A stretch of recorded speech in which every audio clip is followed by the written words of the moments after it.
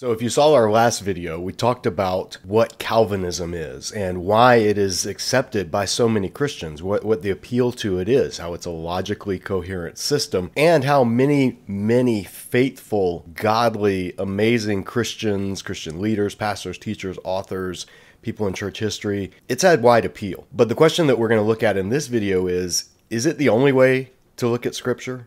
Is Calvinism the gospel, or is it merely one way of interpreting the gospel? And is there a better approach to Scripture than what Calvinism has to offer? So here's part two of this series where I present what I think overall does more justice to the totality of what we find in Scripture than traditional Calvinism, or for that matter, traditional Arminianism. So, whether you're a Calvinist, an Arminian, or something in between, here's a discussion that I hope will challenge and push and encourage you in your thinking about all of these issues.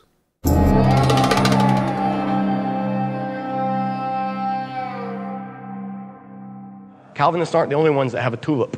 There's a tulip of non Calvinism, and I know because I made it up last night. Um, uh, there are non Calvinist ways to look at these same passages and these same doctrines. And, and what they are is total captivity, union with the elect Messiah, longing God, integrity of the offer, and present assurance.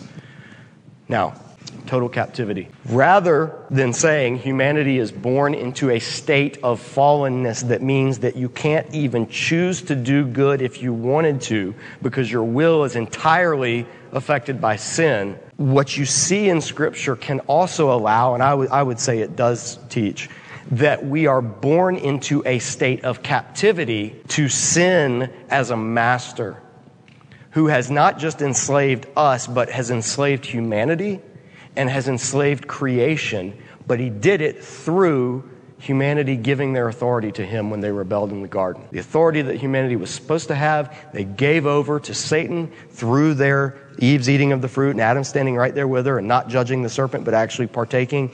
And because of that, humanity gave up their place. And sin and Satan and death became the rulers and the norm. And that's why God said, in the day you eat of it, you'll surely die. That was the consequence, is giving over that authority, that God given authority has now been given over. So when Jesus comes, he identifies Satan as the prince of this world, the ruler of this age. Um, you see, Satan has, has some ability in the Bible to accuse, to come before God. He has some authority. He tempts Jesus in the wilderness by offering him all the nations of the world to bow down to him. How is that a temptation if he couldn't actually do that? if he couldn't actually make the world powers, the principalities, all of the things that he controlled, if he couldn't bend those towards serving a nationalistic, militaristic Israel's Messiah, how would that be a temptation? So Satan has this authority, has this power, but what we see in the gospel is God proclaiming that through the arrival of the Messiah, that power has been defeated on the cross. And as part of that, it means that we have been brought out of slavery through the atoning blood, just like the Israelites were brought out of Egypt through the blood of the Passover lamb covering their doorposts. And so we are no longer captives to sin. Romans chapter 6 is all about this concept. This is just verses 20 and 23, but the whole chapter spells this out. When you were slaves to sin, you were free from the control of righteousness. What benefit did you reap at that time from the things you are now ashamed of? Those things result in death. But now you have been set free from sin and have become slaves to God. The benefit you reap leads to holiness. The result is eternal life, for the wages of sin is death, but the gift of God is eternal life in Christ Jesus our Lord.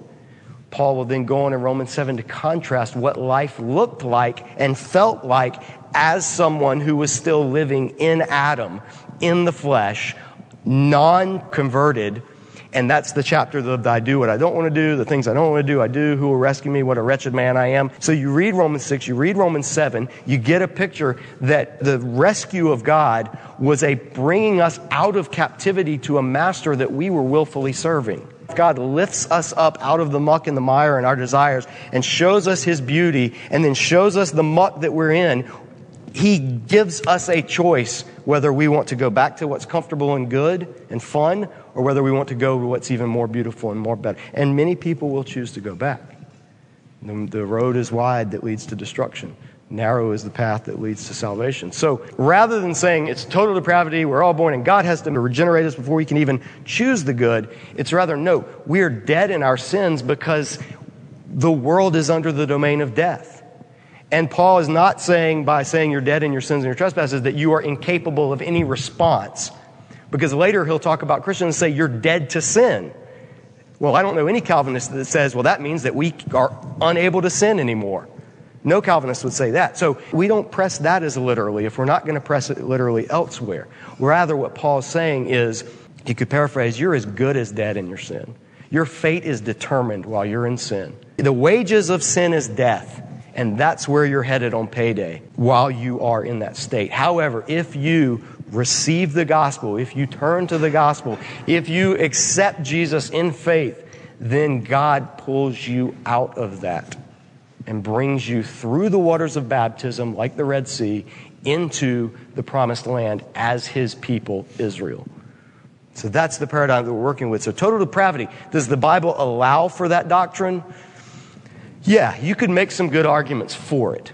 Does the Bible demand that you believe that doctrine? Absolutely not, and not even close. Is it more probable that that's the correct doctrine? I don't think it is. I'm not a Calvinist, and that's part of the reason why. I have good Calvinist friends and colleagues who would disagree with me. They believe it is. I believe it's not. Scripture will allow for either, but I think it teaches against that concept of what the fall did to us. Revelation 1 5 talks about when it's introducing Jesus, grace to you, and he's opening the letter, and then he says, And from Jesus Christ, who is the faithful witness, the firstborn from the dead, and the ruler of the kings of the earth, to him who loves us and has freed us from our sins by his blood made us to be a kingdom and priests to serve his God and Father. To him be the glory and power forever and ever. Amen. This is language from Exodus that was ascribed to Israel, the people, as they were brought out of captivity to Egypt under the rulership of Yahweh at Mount Sinai through the blood of the Passover lamb. And so the Revelation author takes this and he says, that's what we are. But it's the new covenant. So, Jesus, because of his death, because of his shedding of his own blood, he has been exalted, and he now is king, ruler over all the kings of the earth. He did not need to take Satan's offer in order to experience that. He had to wait, do it God's way, and God exalted him to the highest of heavens because he humbled himself to the lowest depths. Philippians 2. So this is the view of what a view of what Jesus has done, a way to think about salvation. The old term for this was called Christus Victor, victorious Messiah. And it was the oldest and most widespread view of what the atonement means. It's older than penal substitution. It's older than the ransom theory. Any of these type of what the atonement actually means. The oldest one and the one that was proclaimed the loudest and the most widespread was this idea of Christus Victor. Jesus has won the victory over Satan and beat Satan with his own weapon, which was the death of the Messiah. That turned out to be uh, the way that Satan was defeated, beat with his own weapon. The, question is, well, the, why didn't the Bible flat out teach free will? You know, it seems to talk about predestination. Where's the verse that says we have genuine libertarian free will? And Fischer makes a good observation. He says, looking for free will in the Bible is like looking for gravity. It's assumed everywhere and holds everything together. So you probably won't notice it until it's missing and you float away. This is why it's usually easier to rattle off multiple verses that seem to contradict free will than it is to name a single verse that affirms it. We think of God hardening Pharaoh's heart because the passage sticks out. It cuts against the grain of the rest of the biblical narrative. I think he's absolutely right. Every exhortation in Scripture, every demand that God makes, every request that God makes, every teaching hortatory passage that God gives that's telling us to do something innately assumes that we will respond to it, can respond to it, and should respond to it. God doesn't need to tell people, oh, hey, you, you know that thing, your will, the thing that, that you use to choose between things, that exists. God doesn't need to spell that out because that's something that humans innately realize. Nobody has to be taught that they have the ability to make choices. The you, union with the elect Messiah. When we start talking about, and you hear people talk about election, predestination, the chosen, one thing we have to realize that's not New Testament language. Those are Old Testament terms. Paul didn't invent it, Peter didn't invent it, Jesus didn't invent it. Election is the way the Old Testament talked about Israel. Israel was the elect. Israel was the chosen. Everything that the New Testament authors apply to Christians now was first applied by God to Israel. And in particular, in Isaiah, that election, that calling, that, that choosing before the foundation of the world that God speaks over as Israel, there's some passages in Isaiah that that is applied to this mysterious figure called the servant. The servant is talked about as God's elect, as God's chosen. So in the Old Testament, the elect is the people of Israel as a whole, as a corporate entity. Isaiah 42, behold, my servant whom I uphold, mine elect, in whom my soul delighteth. I have put my spirit upon him. He shall bring forth judgment to the Gentiles. This is of the servant. This is of the coming Messiah. He is the elect. For Jacob, my servant's sake, and Israel, mine elect. I have even called thee by name. I have summoned thee, though thou hast not known me. Israel, even in their rebellion, is called God's elect. Isaiah 65, and I will bring forth a seed out of Jacob and out of Judah, an inheritor of my mountains. Mine elect shall inherit it, and my servants shall dwell there. Israel, the elect. Isaiah 44, but now listen, O Jacob, my servant Israel, whom I have chosen. This is what the Lord says He who made you, who formed you in the womb, and will help you. Do not be afraid, O Jacob, my servant, Jerushan, which means righteous, whom I have chosen. For I will pour out water on the thirsty land and streams on the dry ground. I will pour out my spirit on your offspring and my blessing on your descendants. They will spring up like grass in the meadow, like poplar trees by flowing streams. One will say, I belong to the Lord. Another will call himself by the name of Jacob. Still another will write on his hand, the Lord's, and will take the name Israel. A radical Old Testament passage where even Gentiles are being welcomed and called into this identity of the elect and are taking the name Israel upon themselves. I. Howard Marshall, New Testament scholar, he says examination of the usage in the Old Testament and in Judaism outside of Christianity shows that the phrase the elect is used of those who have become members of God's people and never of individuals before they have become members of God's people.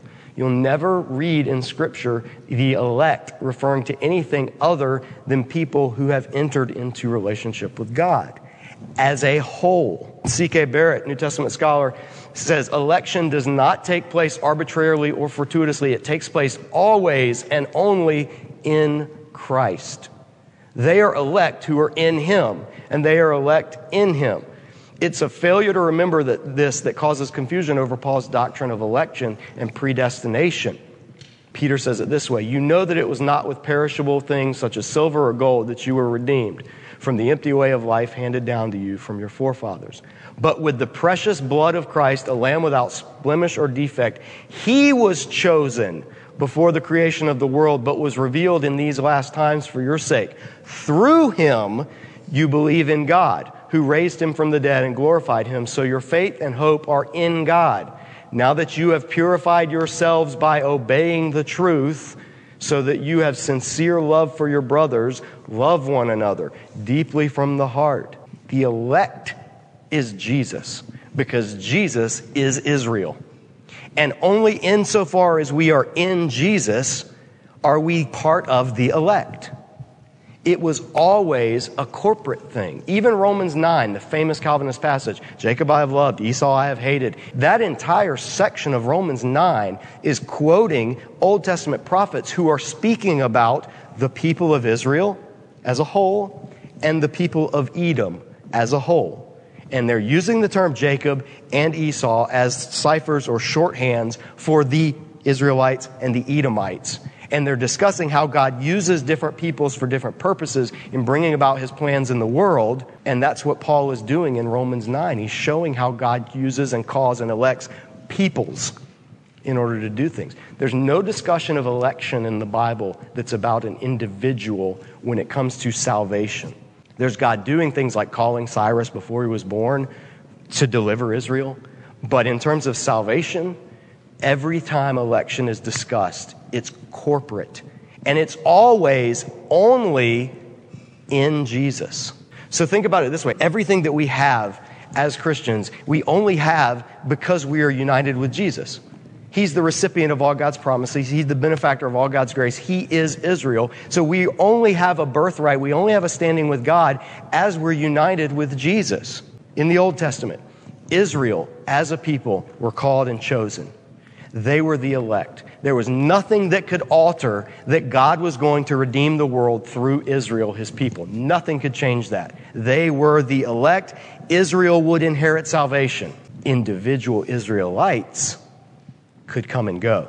People like Achan could go through disobedience. People who rose up like Korah in the rebellion against Moses would be cut off from their people individuals could come and go from Israel based on their covenant obedience and their faith in God. Likewise, non Israelites could come into Israel, people like Ruth, people like Rahab. So the borders of Israel were transferable. You could choose to become part of Israel, or you could choose to rebel against God. If you chose to rebel, you would be cut off. Cut off from what? The promises made to Israel.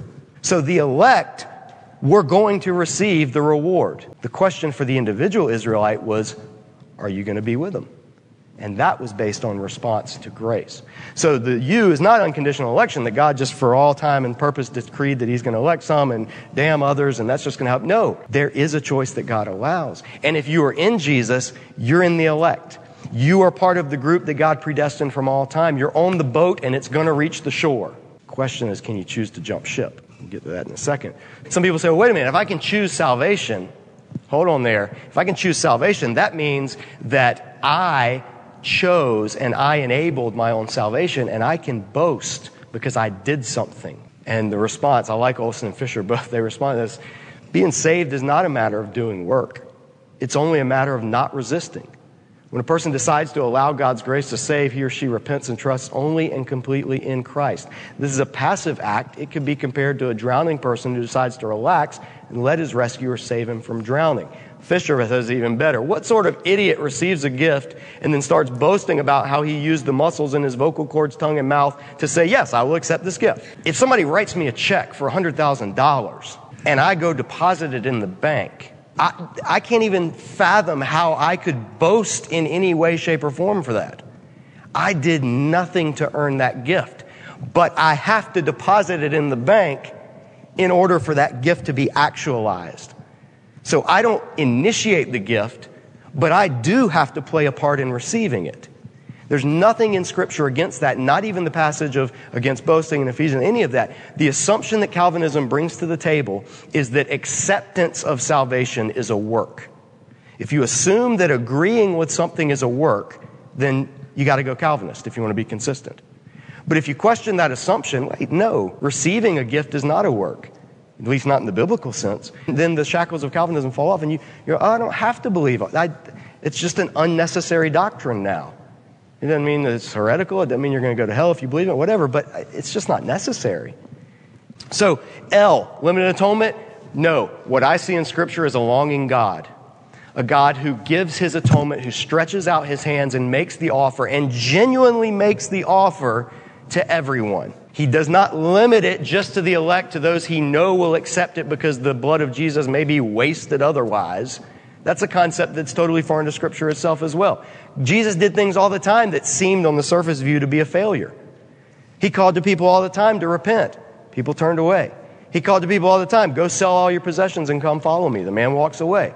Does that mean Jesus is a failure? Where did that concept come from? Somewhere in, in, in Reformed thought. But it's not one that Scripture demands. Look at God as painted in Ezekiel 18. Let's see if this sounds like a God who is of limiting atonement. Do I take any pleasure in the death of the wicked, declares the sovereign Lord? Rather, am I not pleased when they turn from their ways and live? But if a righteous man turns from his righteousness and commits sin and does the same detestable things the wicked man does, will he live? None of the righteous things he's done will be remembered. Because of the unfaithfulness, he is guilty of sin, and because of the sins he has committed, he will die. Yet you say the way of the Lord is not just. Hear, O house of Israel, is my way unjust? Isn't it your ways that are unjust? If a righteous man turns from his righteousness and commits sin, he'll die for it. Because the sin he has committed, he'll die. But if a wicked man turns away from the wickedness he's committed and does what is just and right, he will save his life because he considers all the offenses he has committed and turns away from them. He will surely live. He will not die. Yet the house of Israel says, The way of the Lord is not just. Are my ways unjust, O house of Israel? Is not your ways that are unjust? Therefore, house of Israel, I will judge you, each one according to his ways, declares the sovereign Lord. Repent, turn away from all your offenses, then sin will not be your downfall. Rid yourselves of all the offenses you've committed and get a new heart and a new spirit. Why will you die, house of Israel? For I take no pleasure in the death of anyone, declares the sovereign Lord. Repent and live.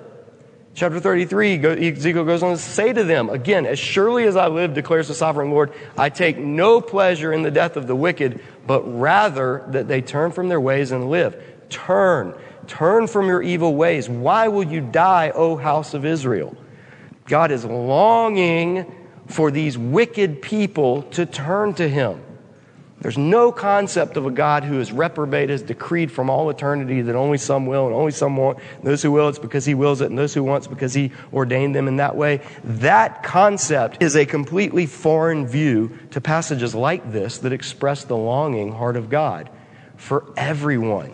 We see it in the New Testament. Paul writes to Timothy, This is good and pleases God our Savior, who wants all men to be saved and to come to a knowledge of truth the way that Calvinists respond to this verse. They say what that means is he wants all from all people. He wants all kinds of people. He wants some from every nation to come to him, but not every single individual. And they're right. All doesn't always mean all in the Bible. All the world came to Joseph to buy grain. That doesn't mean the Inuit were paddling canoes from Greenland to buy grain. So all doesn't always mean all. But in this case and in the context, it kind of seems like that's what God's saying is he really does want all people to return. Now, now you can't base your doctrine on one passage. That's called proof texting. And I'm not putting these up here to proof text. I'm putting these up here so you can see how scripture talks about these things and then you can go back and study them in their context and see if it bears out. Peter says the Lord is not slow in keeping his promise, as some understand slowness. He's patient with you, not wanting anyone to perish, but everyone to come to repentance these two verses now together, okay, if one could be translated in isolation, could say God wants all kinds of people. Second Peter comes along and it makes it harder to make that case. This really does seem to say, and when you pattern it with Ezekiel, God really does seem to be offering salvation to everyone who will turn. And the offer seems to be genuine. And that brings us to the next one the I, the integrity of the offer. If God makes an offer and you can't not accept it, that's not a genuine offer. That's, that's a pantomime. That's a, that's a play. That's acting. If God says, do this, knowing that there's no way that you can't not do that, then there's no genuineness in that command. There's no response. There's no such thing as love. And, and obviously, my Calvinist friends would disagree, but I would press them on it. I'd challenge them. I'd say, no, no, no, no, no. Love demands and requires the ability to not love in order to be genuine. Because if you can't not love someone, then you are not experiencing a relationship. There's a, a, robotic, mechanistic response. When I teach on God and the problem of evil, and I came up with this analogy here during my Wesley days when I was street preaching and you have to generate a crowd out at Tate. and so I came up with the Playboy analogy. And the Playboy analogy is, let's say that somebody in here, you know, you, you, are married and you look at your wife, you say, honey, I love you, I'm never going to cheat on you. But you make it while you're on a desert island and you're the only two people. So if I turn and look at my wife, my invisible, non-existent wife, and I say, honey, I love you and I'm never going to cheat on you. And we're the only two people on the island, that doesn't mean anything. Not to me, not to her. There's no ability for me to not do that. That's an empty promise. There's nothing real there. Flip it around. Let's say we're going on our honeymoon and our plane crashes and we're the only two survivors and we land in the Playboy Mansion. And for some reason, all of the bunnies and all of the party people are just super attracted to, and I don't use myself, I use somebody from the audience usually at this point as an example. I say they're all attracted to this guy, to that beard. Of course they're attracted to that. So, both beards. So they're, they're attracted you land, you're in the grotto, you're surrounded by all these, these just people that are fawning over you and trying to get to you and giving the evil eye to your wife. And you turn to her and you say, honey, I love you so much, I would not even think of cheating on you. And you actually remain faithful while surrounded by temptation, then your love is of infinite more value.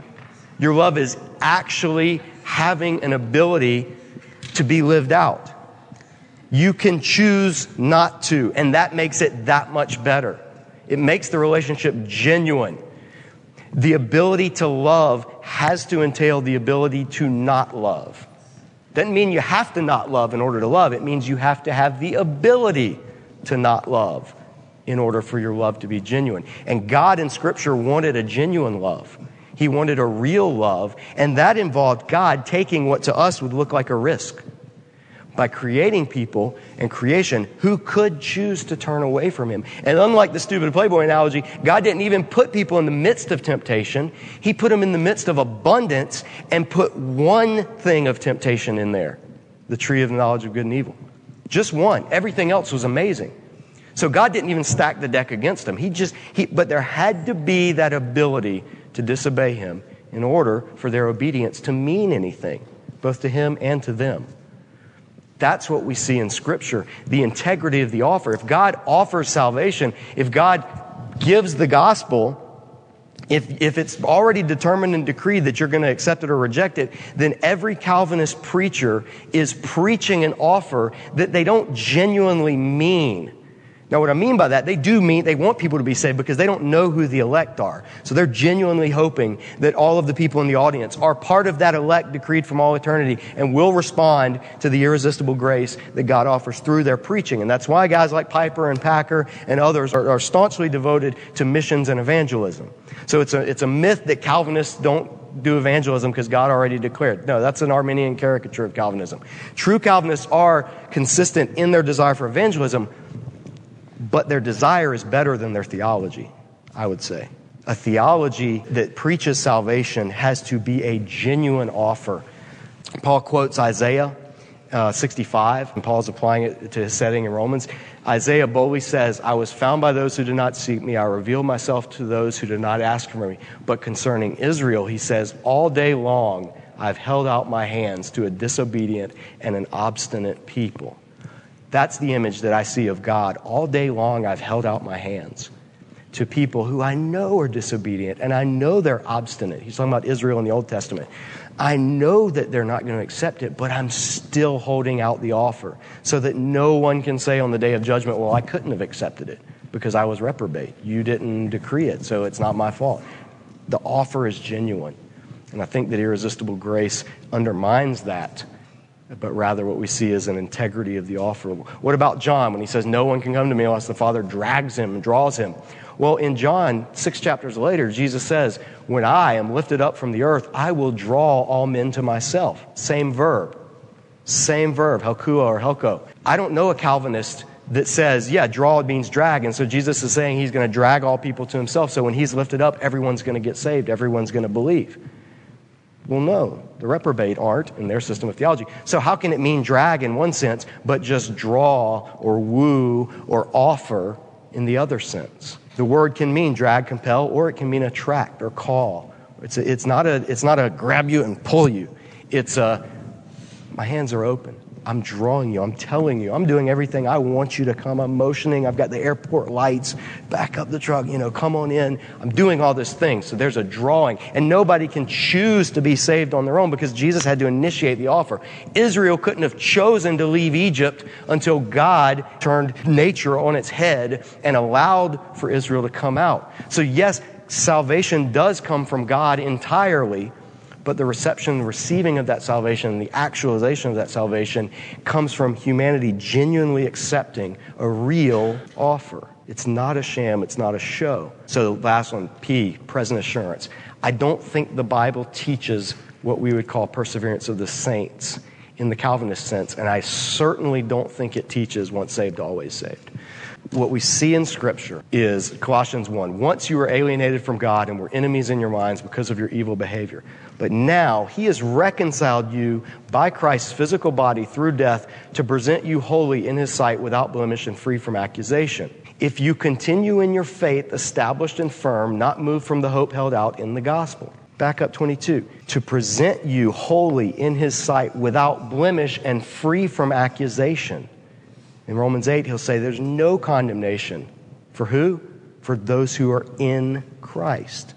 But that is absolutely contingent on our involvement. Because look at the next word in 23 if. It's a conditional. If you continue in your faith. Established and firm, not moved from the hope held out in the gospel. This is the gospel that you heard and has been proclaimed to every creature under heaven, in which I, Paul, have become a servant. God will keep you free from accusation. You can be assured of your salvation in the present. If you continue in your faith, your salvation is assured. If you think I've lost my salvation, your salvation is not car keys. You don't just lose it. It's not something you, whoops, I dropped my assurance. I dropped my salvation. I dropped my atonement. It's not like that. It's a relationship. And relationships can be walked away from. There's nowhere in Scripture that demands that Christians have to have this assurance of future salvation apart from their actions. It's always in contingency with their actions. It's always you're judged by your faith and your deeds together because you're judged according to who you are in the moment who you are as you stand before God. The past doesn't exist anymore, the future doesn't exist at all yet. All you have is the present. So you can know, am I saved? Well, easy to answer. Are you in Jesus? If you're in Jesus, then you're saved. Are you not in Jesus? Are you living in sin right now? Are you kind of, well, like Jesus, but also like, you? well, then Scripture does allow for you some doubt of your salvation. I don't think there's anything wrong with that personally. Some people are like, I don't want somebody to doubt their salvation. I do, if they're not really saved. I absolutely want somebody to doubt their salvation if they just were raised Christian and think that they're saved because they said prayer at a youth camp. Absolutely, I want them to doubt that salvation. And there's nothing wrong with saying that. Now, do I want a Christian who's living their life and struggling and dealing with anxiety and depression, and the tiniest little thing causes them to downward spiral into the depths of, I'm not even a Christian anymore? Even, that's a different thing. That's a pastoral issue. But theologically, you can say to that person, do you trust Jesus for your salvation? Have you put your faith in Him? Have you believed the gospel right now? Not in the past, but right now, do you believe the gospel? Is Jesus your Lord? Did God raise Him from the dead? And if they say yes, if that's the, then yes, you're in Him. Are you in Jesus? The boat's going to reach the shore. Stay on the boat. Have you jumped ship yet? Have you definitively declared, I'm done with you, Jesus, I'm walking away? If that's the case, then yeah, there may be some reason to doubt your salvation, and you may need to turn back to God with fear and trembling. But unless you've done that, relax. You're on the boat, it's going to reach the shore. But you have to stay on the boat. So you can have present assurance. You can be eternally secure only when you're secure in eternity. Witherington says that. You, you can know that you're going to be saved in the future when you get there. Right now, you can know you're going to be saved if you continue in how you are right now. Because think about this. If Calvinism's true, no one in here can have assurance of your salvation.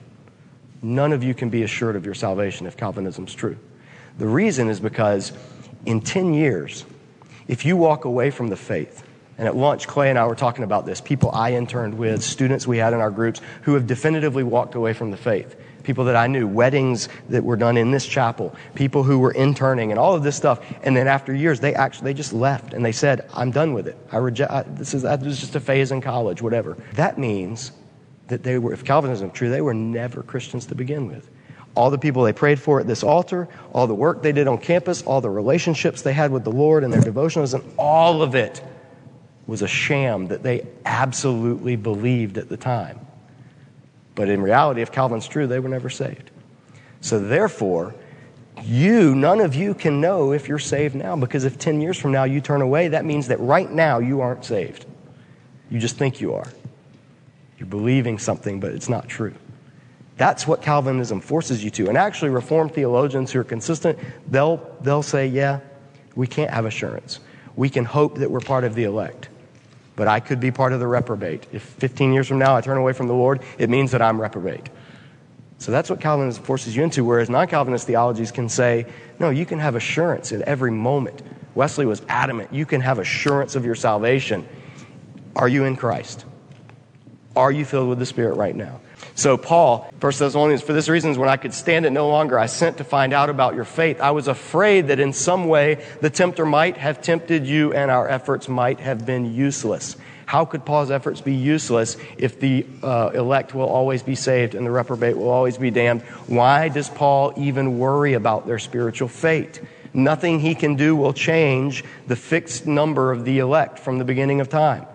But yet, you see in his letters, he does worry. He does think that this might be in vain.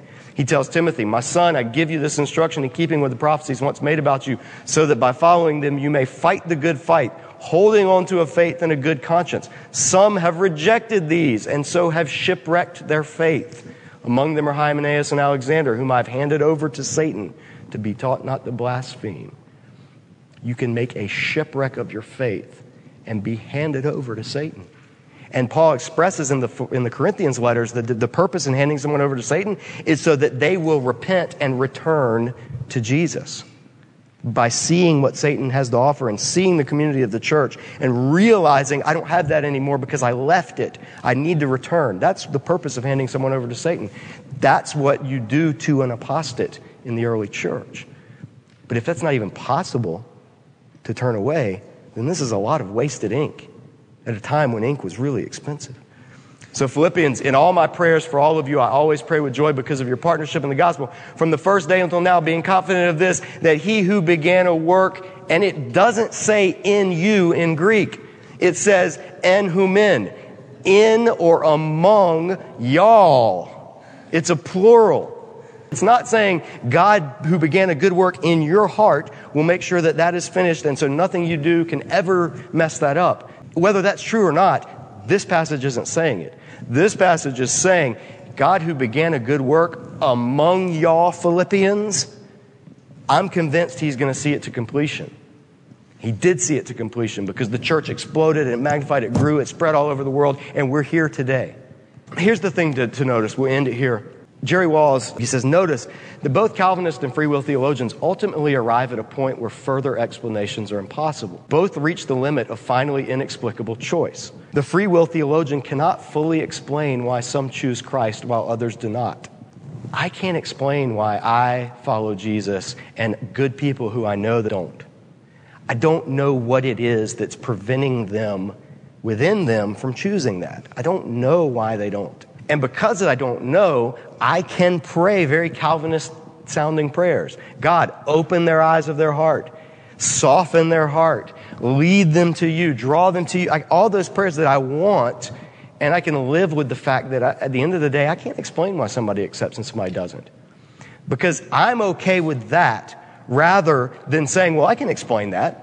It's because God chose from the foundation of the world to create some people to send explicitly to hell and some people to bring to heaven. That's not an answer that makes sense to me. And Scripture doesn't demand that I accept that answer, so I'm not accepting it. Because Calvinism and a desire to uplift God's glory actually removes God's love. Because what you have is a God who created billions of people specifically to not be saved. He created them specifically for Him to pass over in order to save the rest. So, no parent who has a bunch of children who all have a disease and has a cure and gives the cure to five or six of the children and leaves 15 or 20 of them to die, that's not love. That's evil. Why? Shouldn't the people that he got the medicine, shouldn't they be grateful that he saved some of them? No, not if he can save all of them. So when people talk, when Calvinists, they say, well, we should be grateful that God saves anybody because all of us deserve wrath and death. And the fact that God saves the elect is, displays his mercy. No, it doesn't. It displays his arbitrariness. And it displays the fact that he could have saved everyone. If it doesn't have anything to do with their response, then God could have saved everyone and chose not to save some. And that's the mystery that Calvinists have to live with. The Calvinists cannot tell us why or on what basis God chooses some for salvation and passes others by. That's the God that Calvinism leaves with us, whether we like it or not, whether good Calvinists try to get around that or not, or try to soften it. You know, John Piper speaks about it in different ways, but at the end of the day, that's what he's saying.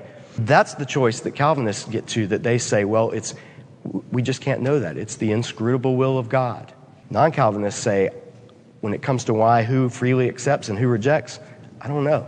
But I'm not willing to say it's because God created my dead grandfather who didn't receive the gospel, which I'm just making this up, my grandfather was, but God created them specifically to be damned for his glory? How does that work? What kind of glory is that? What kind of love is that? Well, it's God's love. It's different than our love. Yeah, but how different? Because that's not even remotely like our love.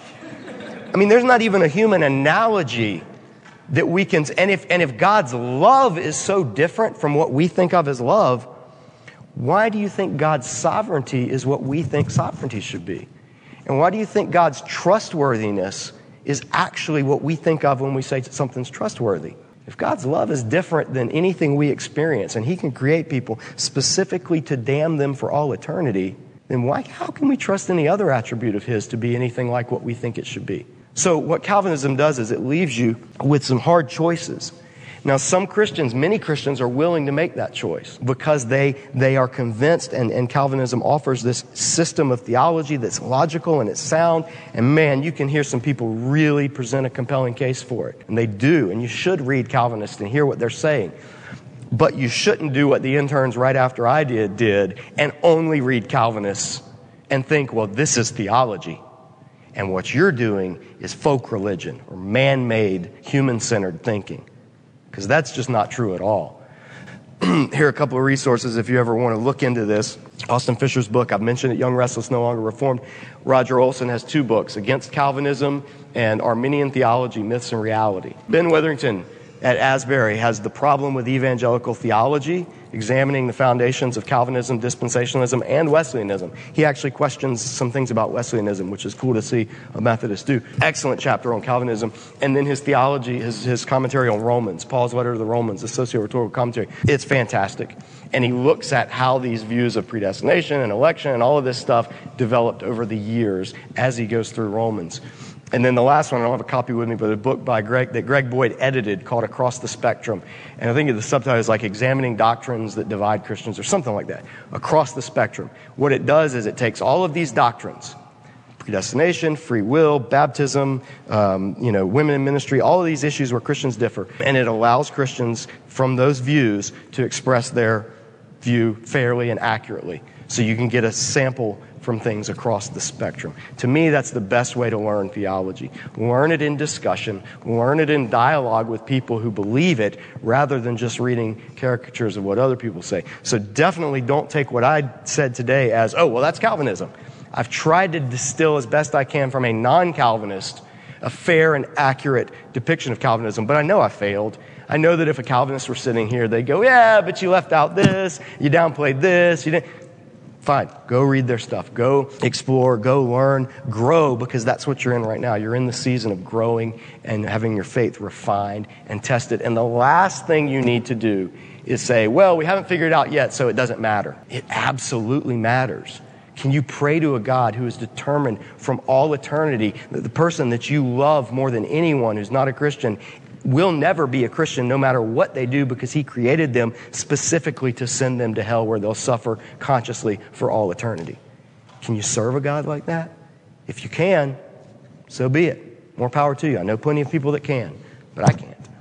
Know what you believe, chew on it, marinate, grow, and um, we're out of time. Again, this is not meant to disparage anyone who is a Calvinist, but it is meant to challenge what I think are the shortcomings of Calvinism and to explain why I'm not one. Feel free to leave your comments in the comment section below. And if you haven't done so already, I would really appreciate if you subscribe to this channel and help us to continue to grow this ministry. Thanks for watching, and I'll see you next time back here at Disciple Dojo.